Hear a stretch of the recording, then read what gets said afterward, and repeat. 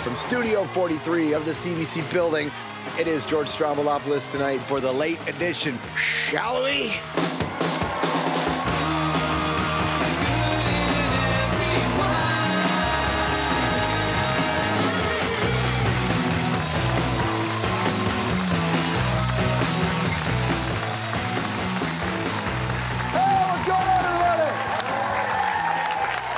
To see you watching the show. I'm boyfriend, George Stroumboulopoulos. What a pleasure to be with you. It's always lovely to be back here on a new day, on a new week. How's your weekend?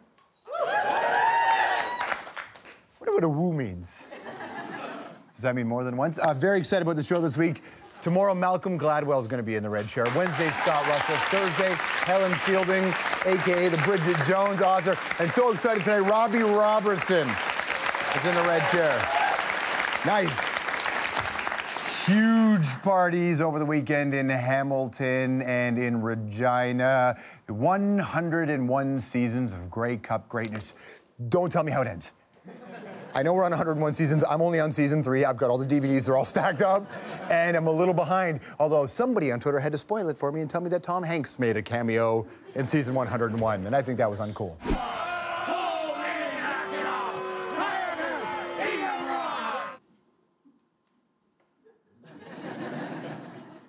He didn't spoil the ending, did he? I've only got 98 seasons to go. I can catch up over the holidays. Uh, Tom Hanks, Martin Short, and other greats weren't the only ones there. The nation's father also took key time away from dodging questions in the House of Commons. He hit up the city of infinite horizons. Now, before you sit there going, doesn't he have work to do? He does have work to do. The Prime Minister was also there. Uh, apparently, he found some possible Senate candidate replacement people, which I think is very exciting. I, um, I remain very optimistic. The person on the with the with the fur thing on the head that's going to replace uh, Mike Duffy, I guess. Uh, the other person is going to replace uh, Ms. Wallin, I suppose. The key question, though, is who's going to replace Patrick Brazeau? Speaking of, today is the International Day for the Elimination of Violence Against Women. Real men don't hit women. I call for all men to join me in standing up to violence directed at women and girls. I am Antonio Banderas, Goodwill Ambassador for United Nations Development Program. And I'm asking you, if you see something, do something. Stand up to end violence against women now. I know we live in Canada and people go, oh, this is just an international thing, not so much back at home. But let me give you some uh, concerning numbers. According to StatsCan, half of Canadian women have experienced an incident of physical or sexual violence since they turned 16. Half. And the Native Women's Association of Canada estimates more than 600 First Nations women have disappeared in the last 20 years. The United Nations has even urged Canada to investigate. So this is serious. Lots of stuff happened today. Shall we deal with it? One, um, one quick second.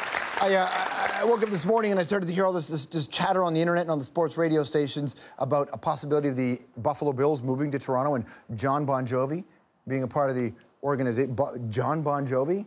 Do you know how hard it is for me to sit here and stare at you in the eyes, Canada, in your heart, and not make references to Jon's beautiful songs? I'd like to think that I'm evolved. I've evolved past that, but it's clear that I'm only halfway there. But, but I make no jokes. So I know people are watching us in Buffalo. Buffalo, Buffalonians, can you please meet me on the Jim Kelly's fourth quarter honey garlic chicken wing camera for one second? Not every Torontonian wants your team. The Buffalo Bills belong in Buffalo. They should stay in Buffalo because they make you want to shout, kick it. I don't want your team, I want your rivalry. And we really need a team in Toronto so people like me who support Washington can find a new team to support that doesn't have a racist football name. Okay, so. Also, in Toronto, I know of a guy who could coach because he loves football and his schedule has just cleared up. Um, look, look at this. uh,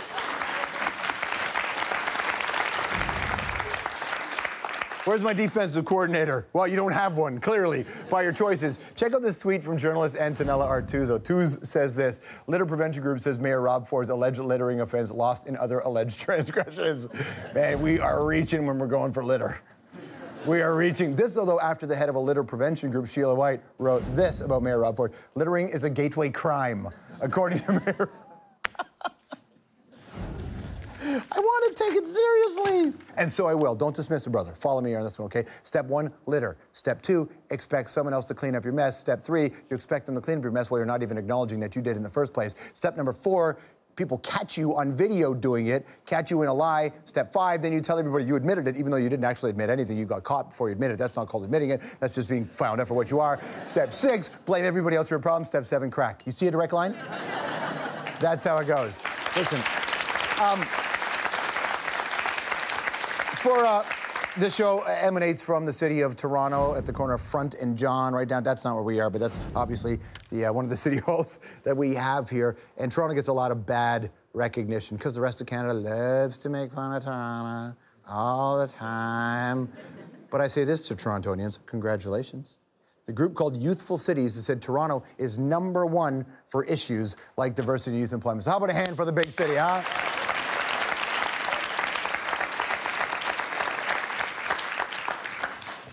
Who did we beat, huh?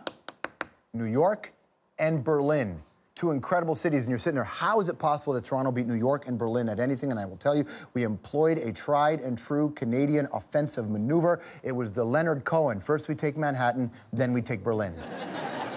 and the people who just laughed outed themselves as over 40. Toronto did actually lose ground in a couple of issues. They weren't so high ranking on safety, mental health, and civic participation. I wonder why that is. And now it's time for the hit segment called Hey, you know this game? Animals that look like. Animals that look like. I, uh, the first time I saw that, I didn't catch the dog that looked like the Ayatollah. that was unbelievable. Animals that look like. Would you like to meet Patch? Patch is a cross between a French bulldog and a Shih Tzu. Not a purebred. Ooh, the Fatherland won't like that. It's hard to love the guy that looks like that, but it's hard to hate him as well. I'm talking about the dog, not the jerk on the other side. His owner says that the pooch bears no resemblance to Adolf Hitler, except for one thing. When he wants the dog to go for a walk, he has to say, Come on, boy, who wants to invade Poland? Who wants to invade Poland, everybody?